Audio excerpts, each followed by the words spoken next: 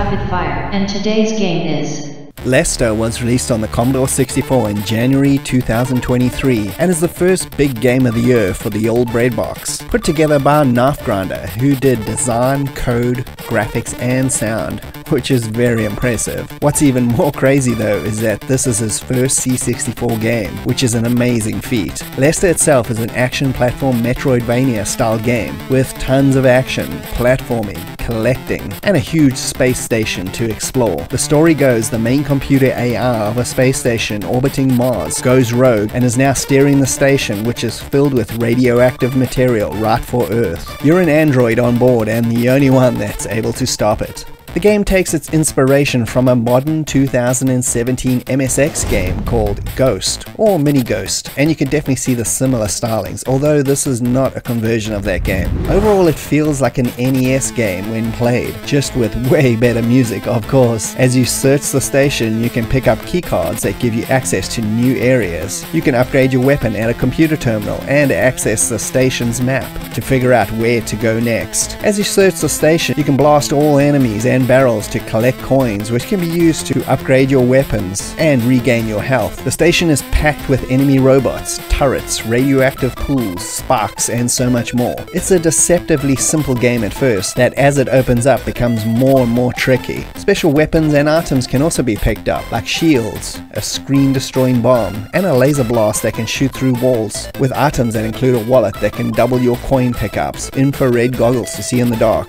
and many more. It also employs a light RPG mechanic. With every drone killed, you gain one experience point, and once the bar maxes out, you get rewarded with more health. Your ultimate goal here is to regain control of the station and thus stop it from crashing into Earth. This is such a well made and simple to play game, with spot on controls that are very responsive and work perfectly with the one button gameplay. The graphics are very detailed and colorful, with nice animation and a great attention to detail. And like I said earlier, the music is super cool, with tons of excellent fast-paced SID tracks to keep the action going, plus an impressive little intro and outro sequence. The game is both PAL and NTSC compatible, although from what I understand, the PAL speed is what it's meant to be played at. It's also both mini and maxi compatible, as well as real hardware. And even though it has over 60 plus rooms to explore, it shouldn't take you too long to complete, and that's perfectly fine by me, because the story and environments are such a lot of fun to explore. The game is also available for free or name your own price, with obviously links in the video description to check it out.